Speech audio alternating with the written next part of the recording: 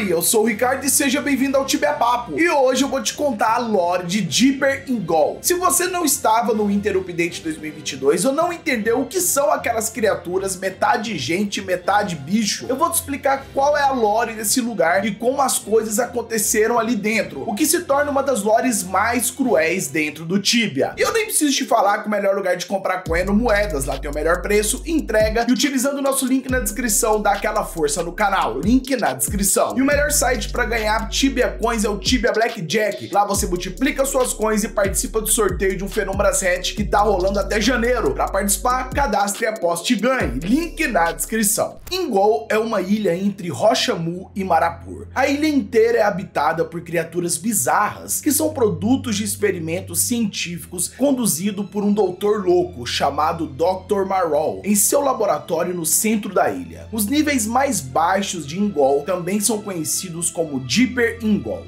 Dr. Marhol não se sabe muito sobre ele. Ele é um cientista que também mexeu com um pouco de necromancia, e os seus experimentos se baseiam em misturar seres humanos com criaturas do Tibia para poder gerar monstros de combate perfeito. Só que a sua maior criação é o The Monster, que mistura as criaturas mais fortes do Tibia. Mas além de sua grande criação The Monster, ele também criou outros mutantes, conhecido como Boar Man. Não se sabe se os javalis consistem em mais do que um javali e partes humanas. Parece que eles são um produto estável dos primeiros experimentos do Dr. Marrow e o primeiro de seus sucessos. Portanto, parece provável que ele seja o resultado de uma mistura humana em um único animal, semelhante às arpias. Como a raça mais antiga estabelecida de mutantes de medula, os homens javalis são relativamente inteligentes, mas são brutos, ignorantes, capazes de falar e pensamentos planejados. Eles podem e irão usar ferramentas e itens. O Dr. Marol os usa como maior parte de seus servos trabalhadores, pois eles são robustos e fortes. Ataques de raiva permitem que eles entrem em modo de combate com outros mutantes ocasionalmente, mas para seu criador, sua utilidade habilidade aparentemente supera o dano que ele pode causar. A hierarquia. Eles costumam servir como treinadores e manipuladores de outros mutantes e se orgulham disso. Ele é a mais versátil criatura do Dr. Marrow e são usadas em inúmeras tarefas como artesão, fazendeiro, pescador e assistente de tarefa doméstica de laboratório. E tudo isso levou a uma forma de orgulho que eles desenvolveram e se veem acima de todas as outras criações.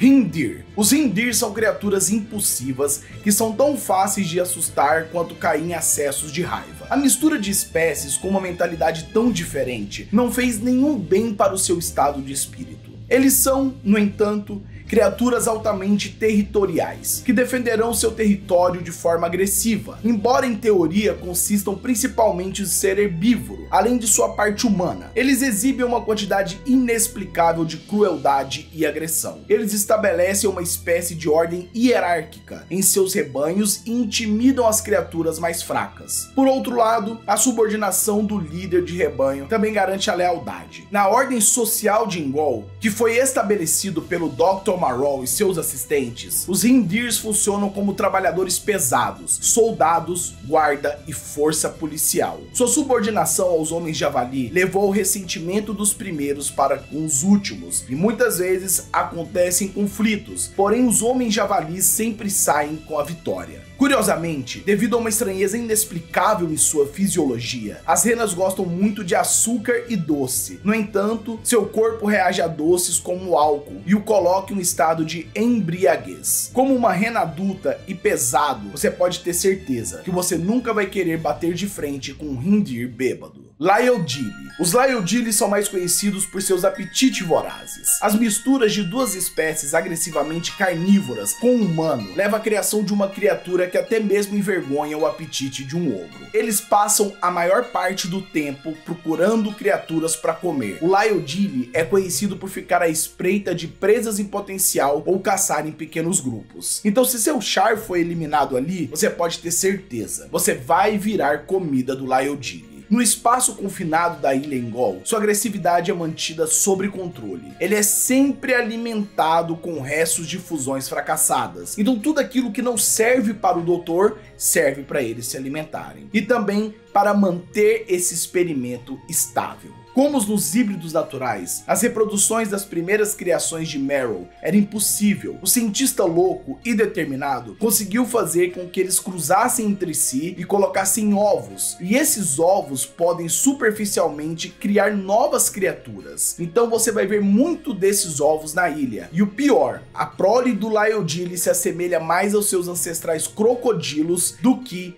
leões. Por isso, tome muito cuidado se entrar nas águas de Ingol. Crepe Man o Crepe Man são estranhas criações do Dr. Louco. Na verdade, várias espécimes com falha foram descartadas. Apesar de sua nomenclatura enganosa, há indivíduos de ambos os sexos presentes, mas sem o exame médico completo é impossível identificar quem é fêmea e quem é macho. Aparentemente criados como primeira linha de defesa nas fileiras de criatura, os homens caranguejos são robustos e duráveis, porém lentos e estúpidos. olha isso aí. Uhul, Ricardinho! Estão fazendo vários experimentos no Tibia, mas até agora eu não experimentei seu Hot Worm. Vem cá pra gente brincar. Que isso, Amazon? Vai ser um prazer. E aí? Ei, você aí quer me ajudar lá na Amazon Camp, cara? Com apenas dois reais por mês, o dinheiro de um cafezinho, você ajuda a manter o canal tudo diário pra vocês, quest, lores, dicas e afins, e acesso a um grupo do WhatsApp com mais de 250 tibianos e um salve aqui no vídeo. Um salve pro Leandro Rickson, pro Arley, pro Wesley Nunes, pro Douglas Nashimoto, pro Gabriel Filho, pro Danilo Max, pro Derek Caio e pra Luana Scarlett. Muito obrigado, irmãos, porque Tibiano, ele apoia Tibiano. Eles carecem de maior parte de inteligência e muitas vezes não serve nem para um gorila. Eles então têm uma compensação de linguagem humana, entendem falas simples e comandos baratos. São bastante dóceis e passivos, só são agressivos em determinadas áreas. Eles são extremamente bem treinados. O processo de treinamento é lento e árduo. Os homens caranguejos amam o mar e desprezam a habitação na terra, mas sua fisiologia é muito melhor para a terra do que a água. E esta tragédia, a sua existência, levou à eliminação de vários homens com afogamento, pois a maioria deles não era capaz de permanecer debaixo da água por períodos de longo tempo é uma das criações mais instáveis do Dr. Marrow. Porém, não brinque com elas. Elas podem te pegar a qualquer momento. Carnivostiche. A característica mais marcante dessa criatura é seu comportamento errático. De todas as criações do Dr. Marrow, eles têm menos elementos humanos e comportamentos bestiais. Eles parecem muito uma avestruz e sempre são encontrados eliminados, sufocados com a cabeça na terra. Os carnívoros tristes, errantes, devem se apoiar mais fortemente na parte do lobo. Ele é uma mistura de lobo, humano e avestruz. Eles podem ser domesticados e treinados, e também são assistentes de medula. Eles costumam servir como bestas de carga, guardiões ou até mesmo animais de estimação. São extremamente carnívoros, mas também comem ervas. Em igual, eles são submetidos a uma dieta rigorosa à base de vegetais e exposições de carne crua que às vezes os deixam em frenesi. Por isso, os que estão na linha de frente sempre são alimentados com carne, porque o prazer da carne faz buscar mais carne. Arpie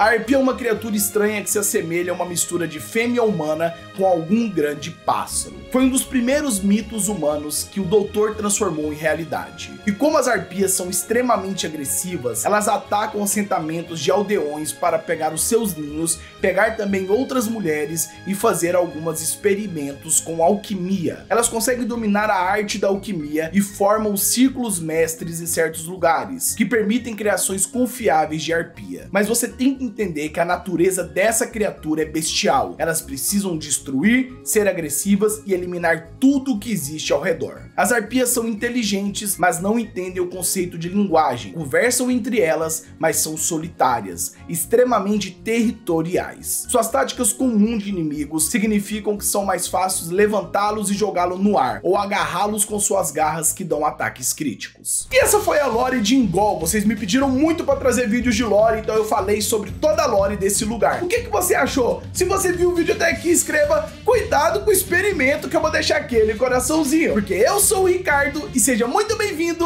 ao Tibia Papo.